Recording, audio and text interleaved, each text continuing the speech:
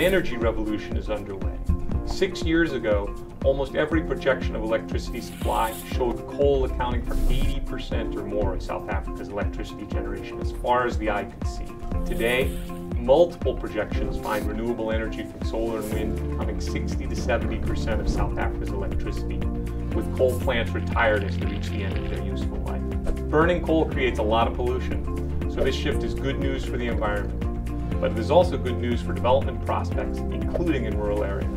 Solar and wind energy are naturally distributed, so these technologies create a tremendous opportunity to provide electricity in rural areas.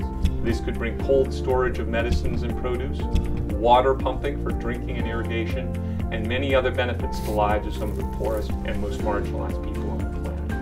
IFPRI is partnering with researchers in South Africa to help the country navigate the energy revolution so that the amazing advances in renewable energy technologies benefit their people and the environment. South Africa is just one example.